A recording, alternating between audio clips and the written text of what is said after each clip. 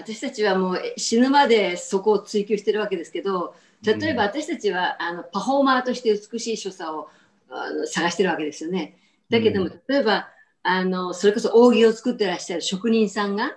扇を要を作っているところの所作だってすごく美しいし、だから職人プロになったら美しいんじゃないかと思うんだけど。なるほど。うん、その辺は、ね、やっぱ山岡さんの世界なわけですけど、はい、